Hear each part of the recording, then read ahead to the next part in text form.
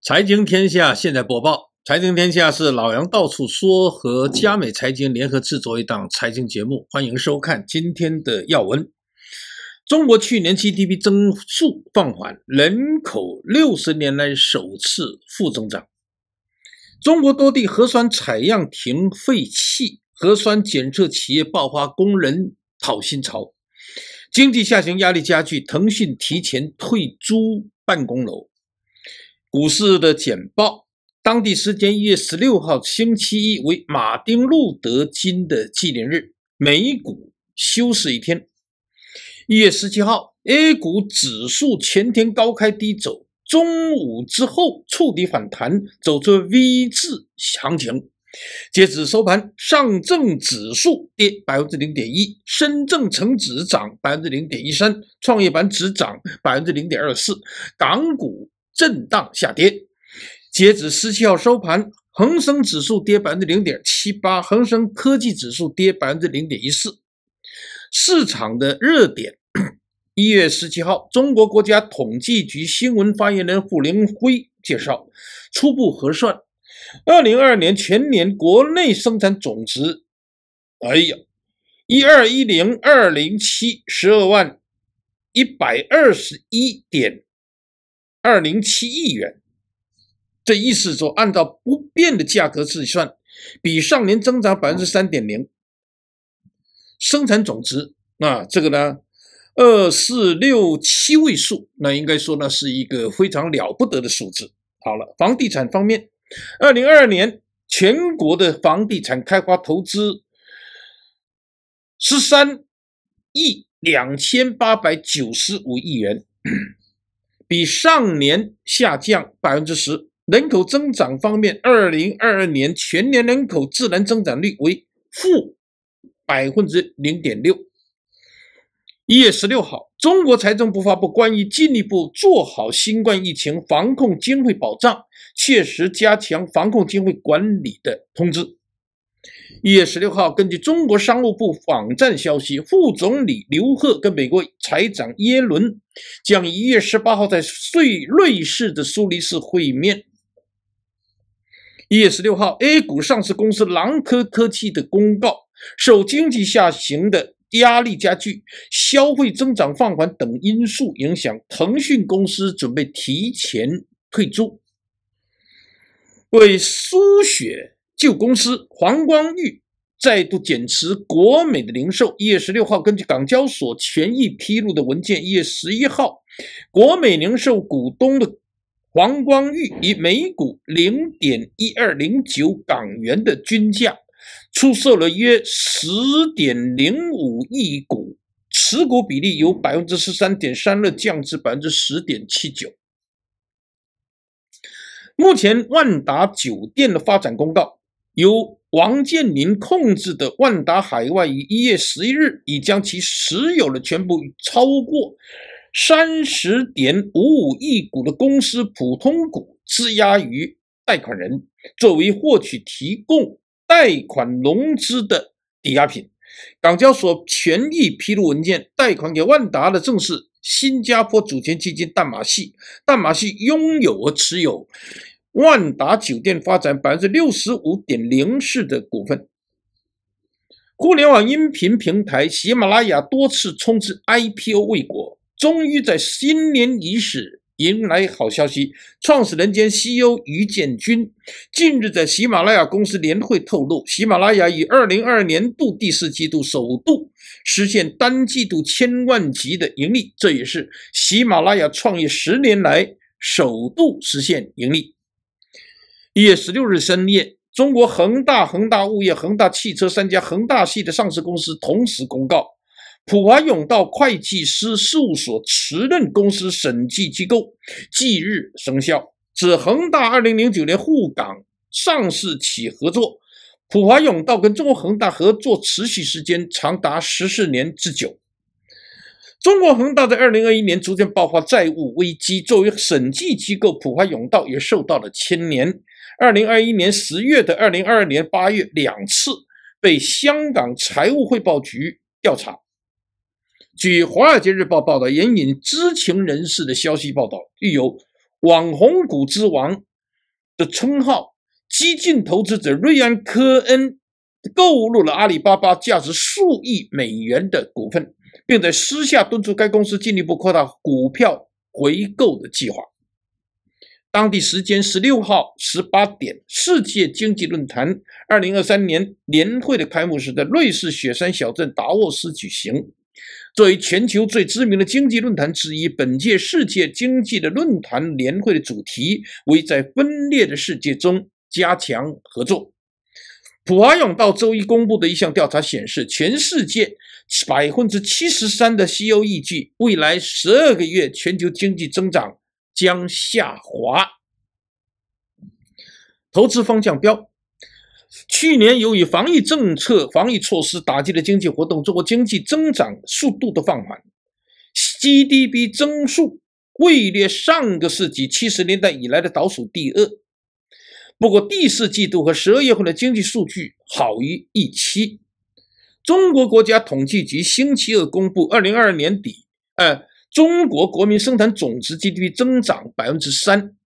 与政府最初设计的增长目标百分之五点五左右相差甚远，但高于接受彭博社调查的经济学家预期的百分之二点七。二零二二年的最后一季度，中国经济同比增长百分之二点九，超过经济学家预测的百分之一点六。经济学家同目前预计，随着消费者支出的回升，房地产市场下滑有所缓解，未来几个月中国经济将出现更强劲的复苏。中国央行和政府高层发出信号，二零二三年的首要任务是推动经济增长，战略关键是促进国内消费和投资，以拉动经济增长。预计接下来会出台更多的财政和货币刺激的政策。政府最近已经采取了措施，放松。对科技行业的监管整顿，并取消了对房地产市场的一些限制。中国几乎所有的省份都将二零二三年的经济增长目标定为百分之五或者更高。接受彭博社调查的经济学家在得的解预测的中值是，今年中国经济增长将加快到百分之四点八。不过，摩根士丹利、美国银行和花旗银行的一些大银行预计增速将接近百分之五点五，甚至更高。中粮联行大中华区的首席经济学家兼研究主管叫庞明，他说：“二零二三年中国 GDP 增长的前景跟我们之前的展望相比有所改善。现在他预计二零二三年中国经济增长率为百分之五，但是庞明提醒。”有个不容忽视的事实是，中国经济仍然面临着相当大的阻力，包括外部需求。美国和欧洲今年可能都出现衰退。进入我们今天的重点资讯解读：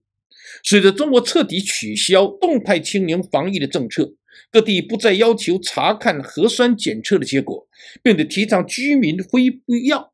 不核酸。核酸检测需求正在明显的变少。根据北京日报报道，近日北京街头大量的核酸检测亭闲置，有的甚至荒废。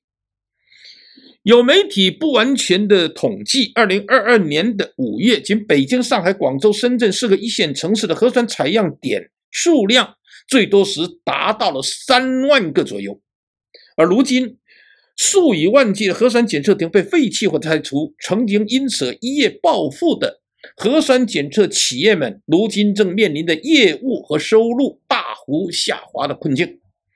纽约时报》今天报道了中国的一些核酸检测的机构正面临崩溃的现状。新十条出台之后，不少生产审测试剂盒并在实验室分析结果的公司收入大幅下降，导致员工裁员和减薪。而一份报告显示，大城市的大规模检测约占中国经济产出的百分之一点三。《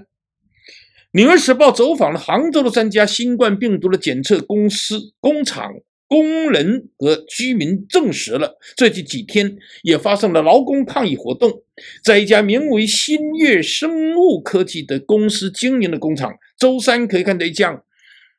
消防车、救护车和一辆警车同时出现在工厂的院子里，以应对一名爬上五楼楼顶。威胁跳楼抗议欠薪的工人，工厂附近的目击者说，这家工厂关闭的工厂曾经发生过数天的示威的活动。《纽约时报》还查看了社交媒体上流传的杭州、重庆抗议活动的视频，那里有大量的工人与警察对峙。在重庆，有数百名工人和一家新冠检查四级盒制造商发生工资纠纷。他们向身穿防爆装备的警察投掷物品，警察在撤退时举盾牌，抗议者站在试剂盒库存上，把箱子贴到接着数千份测试的品测试品倾泻而出，写得很具象。在东部的城市杭州。爱康生物技术工厂的工人本月初被告知，他们将休假两周，因为自清零措施取消以后，公司的收入明显减少。目击者说，几名工人爬上了一家检测设备工厂的屋顶，威胁跳楼抗议无薪休假。而这个地区的另一家特次的制造工厂工人因工资纠纷已经抗议了好几天。重庆和杭州的纠纷可能预示着更多动荡的即将到来。在之前防疫工作被歌颂、被赞扬的中国的大白们，很多都被解雇了，这让本来不景气的劳动力市场变得更加的混乱。在整体经济放缓的背景之下，中国各地的工厂资金紧张。总部位于纽约的中国劳工权益组织“中国劳动观察”的创始人和执行董事的李强说：“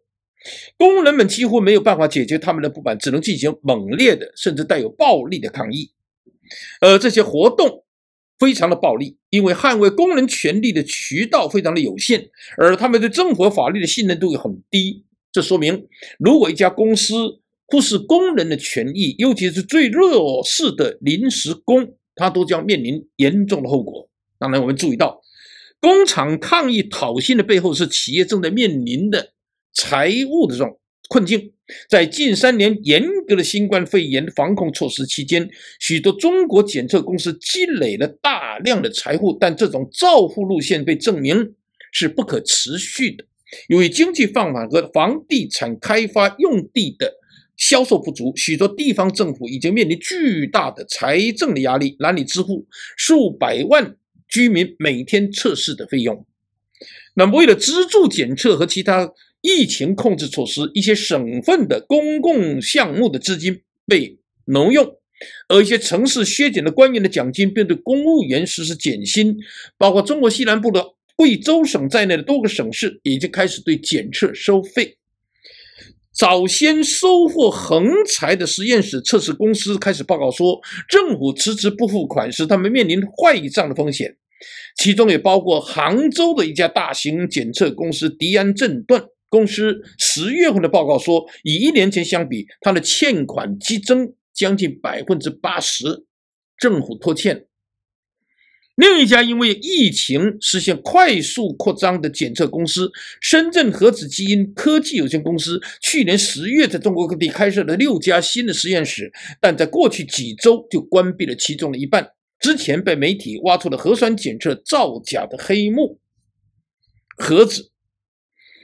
美国外交关系委员会全球卫生高级研究员严黄延忠说：“随着中国强制测试的取消，整个行业受到打击异常的严重，需求已经不存在了。但是清零政策在一定程度上被延迟了，因为背后还有太多的商业利益。中国突然转变防疫政策，使核酸检测和与之相关的一些所有的就业遭受了明显的冲击，这是不可避免的。但将对中国经济产生多大的破坏性，还有待进一步的观察。财经天下，明天同一时间我们再见。